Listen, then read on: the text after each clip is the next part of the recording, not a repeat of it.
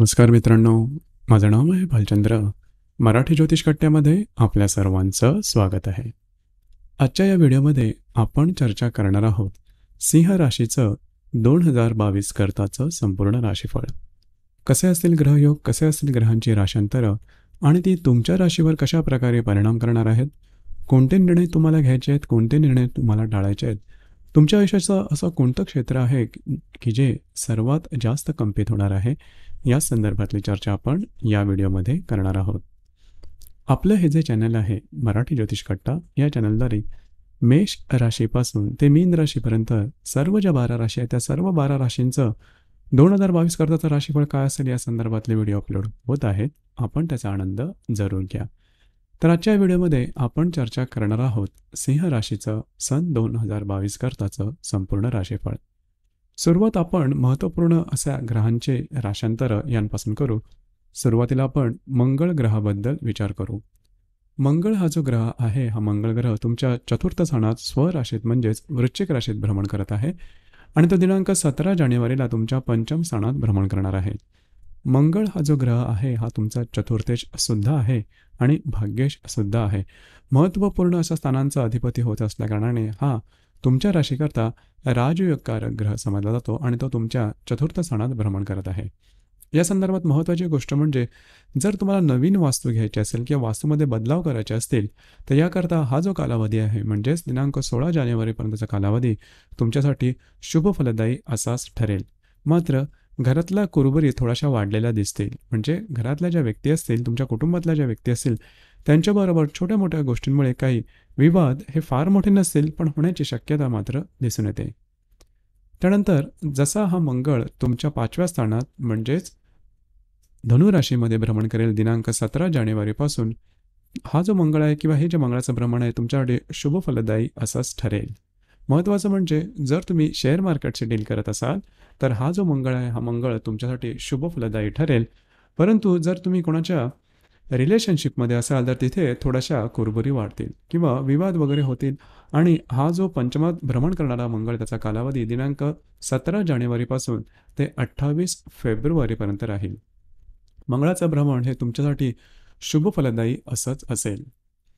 दिनांक अठ्ठावीस फेब्रुवारीपासून ते जवळजवळ आठ एप्रिलपर्यंत हा मंगळ तुमच्या सहाव्या स्थानात भ्रमण करेल. आणि तिथेच शनी असल्याकारणामुळे याचे जे परिणाम आहेत ते नजरेत भरण्यासारखे दिसतील. सगळ्यात पहिला आणि महत्त्वाचा परिणाम म्हणजे आरोग्याकडे लक्ष देणं गरजेचं राहील. जर तुम्ही कुठल्याही व्याधीने ग्रसित असाल तर त्या व्याधीच्या संदर्भातली काही लक्षणं तुम्हाला या दरम्यान दिसू शकतील. ज्या ठिकाणी तुम्ही काम करता नोकरी करता किंवा व्यवसाय करता त्या ठिकाणचे जे सहकर्मी असतील त्यांच्याबरोबर सुद्धा तुमचे काही छोटे मोठे वादविवाद होण्याची शक्यता आहे. कामावर किंवा नोकरीवर आपल्याला ते जास्त जबाबदारी दिली जाते का? किंवा आपल्याकडून काम केलं जात आहे का? का का जास्त काम करून घेतलं जात आहे का? किंवा ज्याला आपण गुप्तशत्रू वगैरे म्हणतो. तसा प्रकार ह्या दरम्यान तुम्हाला दिसून येऊ शकेल. तर थोडंसं स्वतःवर ते कंट्रोल ठेवणं जास्त आवश्यक राहील. हा जो मंगळ आहे हा मंगळ दिनांक आठ एप्रिलपासून ते जवळजवळ अठरा मेपर्यंत तुमच्या सातव्या सणात भ्रमण करणार आहे. इथे थोडंसं जर तुमचा विवाह झालेला असेल तर वैवाहिक जोडीदार तुमच्यावरती हावी होत आहेत का? किंवा तुमच्या विचारांवरती हावी होत आहेत का? असा काहीसा अनुभव येऊ शकेल. खरं तर तुमची जी रास आहे सिंहरास ही कोणालाही हावी होऊ देत नाही. परंतु अशा प्रकारे काही भ्रमण असतील तर त्याचा अनुभव तुम्हाला नक्कीच येतो. तर त्यामुळे असं काही झालं तर उगाच भांडणं करून किंवा विवाद करून गोष्टी तुटेपर्यंत ताणू नका कारण हे जे भ्रमण आहे हे तात्कालिक आहे. त्यामुळे साधारण मे अठरा एकोणीस नंतर हा जो प्रभाव तुम्हाला दिसेल वैवाहिक जोडीदारासंदर्भात हा बऱ्याच प्रमाणात कमी होत जाताना अनुभवास येईल. त्याचप्रमाणे दिनांक अठरा जून अठरा मेपासून ते जवळजवळ एकोणतीस जूनपर्यंतच्या कालावधीमध्ये हा मंगळ तुमच्या आठव्या स्थानात भ्रमण करेल. इथे थोडंसं लक्ष देणं गरजेचं आहे. आरोग्याच्या संदर्भात जर तुमचा विवाह झालेला असेल तर तुमच्या सासरकडचे जे मंडळ असतील त्यांच्याबरोबर सुद्धा काही खटके वगैरे ओढण्याची शक्यता जास्त प्रमाणात दिसून येईल. त्याचप्रमाणे हा मंगळ दिनांक एकोणतीस जून नंतर ते जवळजवळ अकरा ऑगस्टपर्यंत तुमच्या भाग्यस्थानात भ्रमण करेल. हे जे भ्रमण आहे हे तुमच्यासाठी शुभ फलदायी असंच ठरेल. महत्त्वपूर्ण कामं तुम्ही या दरम्यान हाती घेऊ शकता आणि त्याचे अनुभवसुद्धा चांगल्या प्रकारचे येतील. खास करून जर तुम्हाला नवीन वास्तू वगैरे घ्यायची असेल तरीसुद्धा हा कालावधी अतिशय उत्तम आणि महत्त्वपूर्ण असा राहील. काही तुम्हाला भ्रमण करायचे असेल ट्रॅव्हलिंग करायचे असेल महत्त्वपूर्ण कामं हातात घ्यायचे असतील तरीसुद्धा हे जे मंगळाचं भ्रमण तुमच्यासाठी शुभ फलदायी असंच ठरेल. दिनांक अकरा ऑगस्टपासून ते जवळजवळ सतरा ऑक्टोबरपर्यंतच्या कालावधीमध्ये हा मंगळ तुमच्या दहाव्या स्थानात भ्रमण करेल. तर ज्या ठिकाणी तुम्ही काम करता नोकरी करता किंवा व्यवसाय करता त्या ठिकाणचं वातावरण थोडंसं तप्त झाल्यासारखं वाटेल. तिथली माणसं तुमच्या बरोबर नाहीत असा प्रकारचा काही अनुभव येईल. काही वादविवाद होत आहेत का? वरिष्ठांबरोबर काही खटके उडत आहेत का? किंवा नोकरी सोडणं किंवा दुसरी नोकरी जॉईन करणं इथपर्यंत थोडासा तुमची मानसिकता जाऊ शकेल. पण या दरम्यान अशा प्रकारचे काही निर्णय घेऊ नका.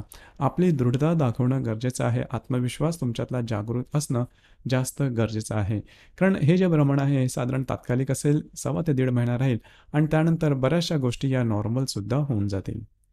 त्याचप्रमाणे हा जो मंगळ आहे हा मंगळ दिनांक सतरा ऑक्टोबरला तुमच्या लाभ सणात भ्रमण करेल. तिथे एकतीस ऑक्टोबरला तो वक्री होईल आणि दिनांक चौदा नोव्हेंबरला परत तुमच्या दशम स्थानात भ्रमण करेल. तर इथे लक्षात घ्या की हे जे मंगळाचं भ्रमण आहे मार्गी होणं वक्री होणं यामुळे तुमचं जे कार्यक्षेत्र आहे तुम्ही नोकरी करत असाल किंवा व्यवसाय करत असाल त्या ठिकाणचे थोडेसे स्ट्रेस किंवा टेन्शन तुम्हाला येऊ शकतील तर लक्षात घ्या स्ट्रेस किंवा टेन्शन आलं तरीसुद्धा सिंह राशीप्रमाणे तुम्ही थोडंसं दृढतापूर्वक यांना सर्वांना सामोरं जाणं गरजेचं आहे. आणि महत्त्वाचं म्हणजे या स्ट्रेस किंवा टेन्शनमुळे कुठल्याही प्रकारचे वेगळे निर्णय घेऊ नका तुमच्या कार्यक्षेत्राच्या संदर्भात. हे जाणून घेणं जास्त महत्त्वाचं राहील. यानंतर आपण चर्चा करणार आहोत गुरुग्रहाबद्दल. गुरु जो ग्रह आहे हा गुरुग्रह तुमच्या सातव्या स्थानात भ्रमण करत आहे आणि दिनांक चौदा एप्रिलनंतर हा तुमच्या आठव्या स्थानात भ्रमण करेल. गुरुग्रह तुमचा तुमच्या राशीकरता शुभ फलदायी आहे हा तुमचा पंचमेश सुद्धा आहे आणि अष्टमेश सुद्धा आहे. हा तुमच्या सातव्या स्थानात भ्रमण करतो आहे. याचे काही महत्त्वपूर्ण अनुभव तुम्हाला निश्चित येतील. पहिली सगळ्यात महत्त्वाची गोष्ट म्हणजे हा गुरु तुमच्या सातव्या सणात भ्रमण करतो आहे. त्यामुळे जर तुमचा विवाह झालेला असेल तर वैवाहिक जोडीदाराबरोबर तुमचे नातेसंबंध बऱ्याच प्रमाणात चांगल्या प्रकारे दिसून येतील. दुसरी महत्त्वाची गोष्ट म्हणजे ज्या सिंह राशीच्या व्यक्ती विवाह चूक आहेत म्हणजे ज्यांना विवाह करायचा आहे त्यांच्या गुरु त्यांच्याकरता सुद्धा हे गुरुचं प्रमाण शुभफलदायी ठरेल. अर्थात हा गुरु तुमच्या सातव्या सणात साधारणत चौदा एप एप्रिलपर्यंत राहील. आणि चौदा एप्रिलपर्यंत तुम्हाला या संदर्भातला काही महत्त्वपूर्ण निर्णय घ्यायचे असेल विवाचूक असेल तर चौदा एप्रिल आधीच तुम्हाला प्रयत्न करणं गरजेचं आहे. सातव्या सणात हा गुरु चौदा एप्रिलपर्यंत राहील आणि पाचव्या दृष्टीने हा तुमच्या लाभ सणाला बघेल. सातव्या दृष्टीने हा तुमच्या राशीला बघेल. आणि नवम दृष्टीने हा तुमच्या तृतीय सणाला बघेल. एकंदरीत आर्थिक संदर्भात महत्त्वपूर्ण असे अनुभव देणारा हा गुरुग्रह आहे. कारण यापूर्वी तुम्ही बघितलं असेल की आर्थिक संदर्भात गेलं वर्षभर तुम्हाला अपेक्षेप्रमाणे काही गोष्टी होत नव्हत्या आर्थिक लाभ होत नव्हते. परंतु हे जे गुरुचं भ्रमण आहे तीस एप्रिलपर्यंतचं हे तुम्हाला आर्थिक संदर्भात काही चांगले आर्थिक लाभ मिळवून देईल. मित्रपरिवाराकडून सुद्धा तुम्हाला मदत होऊ शकेल. आणि सगळ्यात महत्त्वाचं म्हणजे तुमच्या राशीकरता जो आत्मविश्वास आहे आत्मविश्वास हा तुमच्या राशीचा गाभा आहे. तो आत्मविश्वास या गुरुच्या भ्रमणामुळे तुमच्यामध्ये निश्चित दिसून येतील आणि मोठमोठी कामंसुद्धा तुमच्याकडून पार केली जातील. याचप्रमाणे कागदोपत्री व्यवहार सुद्धा या दरम्यान करू शकता. जर तुम्हाला कोणाला प्रॉमिसेस कमिटमेंट करायचे असेल किंवा काही लोन वगैरे घ्यायचे असेल तर लक्षात घ्या लोन जेव्हा तुम्ही घेणार त्यावेळेस घे तुम्ही जी वस्तू घेणार आहात ती खरोखरच तुम्हाला उपयोगी आहे का? हे सर्व विचारात घेऊनच लोन घेण्याचा प्रयत्न करा. तर तुम्हाला लोन वगैरे मिळू शकेल आणि लोनचा उपयोगसुद्धा तुम्ही चांगल्या प्रकारे करून घेऊ शकाल. ट्रॅव्हलिंगच्या संदर्भामध्ये सुद्धा जी कामं आहेत ती साधारण चौदा एप्रिलच्या आधी उरकून घेणं गरजेचं राहील. चौदा एप्रिलनंतर हा जो गुरुग्रह आहे हा गुरुग्रह तुमच्या आठव्या स्थानात भ्रमण करेल. अर्थातच गुरुग्रह तुमच्या राशीकरता जरी शुभग्रह असेल तरी तो आठव्या स्थानात भ्रमण करत असल्या कारणामुळे दिनांक चौदा एप्रिलनंतर त्याचे जे शुभ परिणाम आहेत हे तुम्हाला मिळणार नाहीत. कारण हा गुरुग्रह पाचव्या दृष्टीने तुमच्या व्यय सणाला पाहेल सातव्या दृष्टीने तुमच्या द्वितीय सणाला पाहेल आणि नवव्या दृष्टीने तो तुमच्या चतुर्थ स्थानाला पाहिजे ते लक्षात घ्या जर का तुम्ही मगाशी सांगितल्याप्रमाणे जर तुम्ही लोन अशा प्रकारे घेतले की त्याची गरज नाही आहे आणि अशी जी लोन्स आहेत ही तुम्हाला फेडताना त्रास होईल गुरु या संदर्भात तुम्हाला मदत करू शकणार नाही. ही गोष्ट लक्षात घ्या ही गोष्ट जाणून घेणं अतिशय आवश्यक राहील. दुसरी महत्त्वाची गोष्ट म्हणजे या गुरुचा काही शुभ परिणाम सुद्धा मिळतील? कारण आठव्या सणात जरी गुरु भ्रमण करत असला तरी तो स्वतःच्या राशीत म्हणजे मीन राशीत भ्रमण करत असल्यामुळे याचे काही शुभ परिणाम सुद्धा तुम्हाला मिळू शकतील. ते म्हणजे इझी मनी ज्याला आपण म्हणतो किंवा अनएक्सपेक्टेड मनी ज्याला आपण म्हणतो. असे लाभ की ज्याबद्दल तुम्ही विचारही केला नव्हता अशा प्रकारचे अनपेक्षित लाभ वगैरे मिळण्याची शक्यता गुरुच्या भ्रमण भ्रमणामध्ये मोठ्या प्रमाणात दिसून येईल. हे भ्रमण चौदा एप्रिलनंतर तुमच्या आठव्या सणात होणार आहे. यानंतर आपण चर्चा करू शनिग्रहाबद्दल. शनी जो ग्रह आहे हा शनिग्रह तुमच्या सहाव्या स्थानात भ्रमण करतो आहे आणि दिनांक तीस एप्रिल नंतर हा शनिग्रह तुमच्या सातव्या स्थानात भ्रमण करेल. दिनांक पाच जून नंतर वक्री हा शनिग्रह होणार आहे तुमच्या सातव्या स्थानात आणि परत तो तुमच्या सहाव्या स्थानात दिनांक तेरा जुलैपासून येणार आहे आणि तिथे तेवीस ऑक्टोबर नंतर परत हा मार्ग होणार. तर लक्षात घ्या तुमच्या सहाव्या आणि सातव्या स्थानात हा श ह्या शनीचं भ्रमण होणार आहे. शनी जो ग्रह आहे हा शनिग्रह तुमच्या राशीकरता म्हणजे सिंह राशीकरता अशुभ असा ग्रह आहे. त्यामुळे आरोग्याच्या संदर्भात ते थोडे त्रास तुम्हाला राहतील. त्याचप्रमाणे तुमचे तुम्ही जर का विवाह केला असेल तर वैवाहिक जोडीदाराच्या आरोग्याच्या संदर्भातले सुद्धा काही व्याधी किंवा काही अनुभव तुम्हाला या दरम्यान येऊ शकतील. तर थोडंसं आरोग्याकडे तुमच्याही आणि वैवाहिक जोडीदार जोडीदार असतील तर त्यांच्याही आरोग्याकडे लक्ष देणं गरजेचं राहील. याचप्रमाणे राहू आणि केतूबद्दल सांगायचं झालं तर राहू जो ग्रह आहे हा तुमच्या दहाव्या सणात भ्रमण करतो. दिनांक तेरा एप्रिलनंतर तो तुमच्या भाग्य सणात भ्रमण करेल आणि केतू तो तुमच्या चतुर्थ स्थानात भ्रमण करत आहे हा सुद्धा तेरा एप्रिलनंतर तुमच्या तृतीय स्थानात भ्रमण करेल. अर्थातच भाग्य आणि तृतीय स्थानात होणारा राहू केतूचं भ्रमण तुम्हाला वाईट किंवा अशुभ फळं अशी देणार नाही तर सुद्धा महत्त्वपूर्ण निर्णय घेताना या संदर्भामध्ये विचार करणं थोडंसं गरजेचं आहे. कारण राहू जो ग्रह आहे हा भ्रमित करणारा ग्रह आहे. एकंदरीत हे जे आपण परिणाम पाहिलेत हे ग्रहांच्या राशांतरासंदर्भातले पाहिले आणि त्याचे स्थूल मानाने आपण कुठले परिणाम मिळतील या संदर्भातली चर्चा केली. आत्ता आपण ग्रहांचे जे योग आहेत त्या संदर्भातले सुद्धा चर्चा करू. साधारण रवी आणि शनीची युती होणार आहे तुमच्या सहाव्या स्थानात. रवी जो की तुमच्या राशीचा स्वामी आहे आणि शनी जो की तुमच्या सहाव्या आणि सातव्या राशीचा स्वामी आहे स्थानाचा स्वामी आहे तो तुमच्या सहाव्या स्थानात युती करतोय. या युतीचा जो कालावधी आहे त्या युतीचा जो प्रभाव आहे तो दिसून येईल. साधारण एक फेब्रुवारीपासून ते जवळजवळ आठ फेब्रुवारीपर्यंत. याचा जो परिणाम असेल तर तुमच्या आरोग्याच्या संदर्भात मोठ्या प्रमाणात दिसून येईल. त्याचप्रमाणे जर का तुमचा विवाह झालेला असेल तर वैवाहिक जोडीदाराचं आरोग्य आणि महत्त्वाचं म्हणजे ज्या ठिकाणी तुम्ही काम करता नोकरी करता किंवा व्यवसाय करता त्या ठिकाणी काही कुरबुरी कॉन्फिडेन्शियल स्पॉईल वगैरे होणं किंवा ऑफिस पॉलिटिक्स ज्याला आपण म्हणतो अशा प्रकारचे काही अनुभव तुम्हाला या दरम्यान येऊ शकतील. तर थोडंसं सतर्क राहणं गरजेचं आहे कारण तुमची जी रास आहे थोडीशी ट्रस्टवर्दी आहे. समोरच्यावरती विश्वास लवकर ठेवते. ते या ठिकाणी थोडंसं काळजी घेणं आवश्यक राहील. त्या ठिक त्याचप्रमाणे दिनांक पाच मार्च रोजी रवी आणि गुरुची युती होणार आहे तुमच्या सातव्या स्थानात अर्थातच ही युती शुभ फलदायी अशी असणार आहे आणि या युतीचा प्रभाव आहे तो साधारण दोन मार्चपासून ते आठ मार्चपर्यंत दिसून येईल. या दरम्यान ज्या सिंह राशीच्या व्यक्ती विवाह आहेत म्हणजे ज्यांना विवाह करायचा असेल त्यांच्यासाठी हा जो कालावधी आहे हा कालावधी किंवा हे हा जो ग्रहयोग आहे अतिशय शुभफलदायी असा असणार आहे. जे विवाह सुख आहे त्यांचे विवाह ठरण्याची शक्यता या दरम्यान बऱ्याच प्रमाणात राहील. त्याचप्रमाणे महत्त्वपूर्ण निर्णय तुम्ही या दरम्यान घेऊ शकता. आर्थिक संदर्भात काही महत्त्वपूर्ण ज्या गोष्टी आहेत या संदर्भातल्या काही गोष्टी पूर्णसुद्धा तुमच्या होऊ शकतील. डॉक्युमेंटेशनच्या बाबतीत काही महत्त्वाचे निर्णय घ्यायचे असेल तर तुम्ही या दरम्यान घेऊ शकता. याचप्रमाणे मंगळ आणि शनीची सुद्धा युती होणार आहे तुमच्या सहाव्या स्थानामध्ये दिनांक पाच एप्रिलला ही युती होते आणि त्याचा जो प्रभाव आहे तो साधारण दोन एप्रिलपासून ते आठ एप्रिलपर्यंत दिसून येईल. या दरम्यान आरोग्याकडे लक्ष देणं अतिशय आवश्यक आहे. आणि याच दरम्यान ऑफिस पॉलिटिक्स किंवा गुप्त शत्रू ज्याला आपण म्हणतो त्यांच्या कारवाया वाढू शकतील. सतर्क राहणं बारीक नजर ठेवणं हे जास्त आवश्यक आहे. दुसरी महत्त्वाची गोष्ट म्हणजे उगाच विश्वास ठेवून कुठलीही गोष्ट करू नका त्याचे वेगळे अनुभव तुम्हाला येऊ शकतील.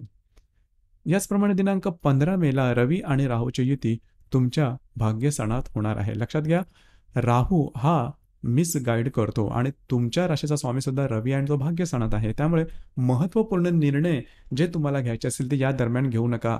हा जो कालावधी आहे या ग्रहाचा जो प्रभाव आहे तो साधारण नऊ मे पासून ते जवळजवळ सतरा ते अठरा मे पर्यंत दिसून येईल. या कालावधीमध्ये कुठल्याही प्रकारचे महत्त्वपूर्ण असे निर्णय घेऊ नका. तुमच्या आयुष्याची दिशा बदलेल अशा प्रकारे कुठलेही निर्णय घेणं किंवा कमिटमेंट देणं प्रॉमिसेस करणं म्हणजे कुठल्याही तुमच्या आयुष्यामध्ये किंवा जीवनाचा कुठलाही भाग असेल कुठलेही महत्त्वपूर्ण निर्णय अजिबात घेऊ नका. ते चुकण्याची शक्यता जास्त आहे आणि त्याच्यानंतर तुम्हाला प्रॉब्लेम किंवा कॉम्प्लिकेशन्स येऊ शकतील. तर लक्षात घ्या हा जो कालावधी अतिशय महत्त्वाचा आहे. दुसरी महत्त्वाची गोष्ट म्हणजे मंगळ आणि गुरुची युती होणार आहे एकोणतीस मेला तुमच्या आठव्या स्थानात या हा ही जी युती आहे त्याचा जो प्रभाव आहे हा प्रभावसुद्धा साधारण साधारण सव्वीस मेपासून तीन जूनपर्यंत तुमच्या आठव्या स्थानात दिसून येऊ शकेल. आरोग्याच्या संदर्भात थोडे त्रास दिसून येतील परंतु महत्त्वाचं म्हणजे या कालावधी दरम्यान तुम्हाला अनपेक्षित लाभ वगैरे होण्याची शक्यता जास्त प्रमाणात दिसून येते जी की या योगाची तुमच्या राशीकरता सकारात्मक अशी बाब दिसून येईल. त्याचप्रमाणे दिनांक एक ऑगस्टला मंगळ आणि राहूची युती तुमच्या भाग्यसणात दिसून येईल आणि या युतीचा जो प्रभाव आहे हा प्रभाव साधारण सत्तावीस अठ्ठावीस जुलैपासून ते जवळजवळ तीन ते चार ऑगस्टपर्यंत दिसून येईल तुमच्या भाग्यस्थानात. इथे सुद्धा आरोग्याकडे लक्ष देणं गरजेचं आहे. तुमच्या घरची ज्या व्यक्ती असेल त्यांच्या आरोग्या संदर्भ म्हणजे घरचे जे कुटुंबातील व्यक्ती खास करून जे पुरुष वर्ग असतील त्यांच्या आरोग्याकडे थोडंसं लक्ष देणं गरजेचं आहे. त्याचप्रमाणे रवी आणि केतूची सुद्धा युती होणार आहे तुमच्या तृतीय सणात दिनांक पाच नोव्हेंबरला. तर साधारण दोन नोव्हेंबरपासून ते जवळजवळ सात आठ नोव्हेंबरपर्यंतचा कालावधी आहे त्या कालावधीमध्ये. रवी आणि केतूची युती तुमच्या तृतीय तृतीय स्थानात होत असल्या कारणामुळे ट्रॅव्हलिंगच्या संदर्भात थोडंसं विचार करणं गरजेचं आहे. ज्या हेतूने तुम्ही ट्रॅव्हलिंग किंवा प्रवास कराल तो हेतू पूर्ण होणं थोडंसं कमी आहे. त्याची शक्यता थोडी कमी वाटते. त्याचप्रमाणे कागदोपत्री व्यवहार करणं सुद्धा या दरम्यान टाळलं तर बरं होईल. याचप्रमाणे शुक्र जो आहे हा शुक्र तुमच्या पंचमामध्ये वक्री अवस्थेत असणार आहे दिनांक अठ्ठावीस जानेवारीपर्यंत. या दरम्यान महत्त्वपूर्ण अशी कामं हातात घेऊ नका. घरच्या ज्या व्यक्ती असेल त्यांच्या संदर्भात थोडी काळजी घ्या आणि जर तुम्ही कोणाच्या रिलेशनशिपमध्ये असाल तिथे सुद्धा मिसअंडरस्टँडिंग वगैरे होण्याची शक्यता किंवा तुमच्या तुमचे जे काही रिलेशनशिपमध्ये असेल त्याच्यामुळे थोडेसे टोकाचे वगैरे प्रसंग येण्याची शक्यता जास्त राहील. याचप्रमाणे बुध जो आहे हा दिनांक चौदा जानेवारीपासून ते तीन फेब्रुवारीपर्यंत दहा मेपासून ते सहा जूनपर्यंत आणि दहा सप्टेंबरपासून ते जवळजवळ पाच ऑक्टोबरपर्यंत वक्री अवस्थेत राहणार आहे. बुध जो ग्रह आहे बुधग्रह तुमचा द्वितीय आणि लाभेश दोन्ही आहे. लक्षात घ्या हे जे कालावधी आहेत या कालावधीमध्ये आर्थिक संदर्भात चणचण निर्माण होऊ शकेल. आर्थिक संदर्भात कुठल्याही प्रकारचे महत्त्वपूर्ण निर्णय या दरम्यान अजिबात घेऊ नका.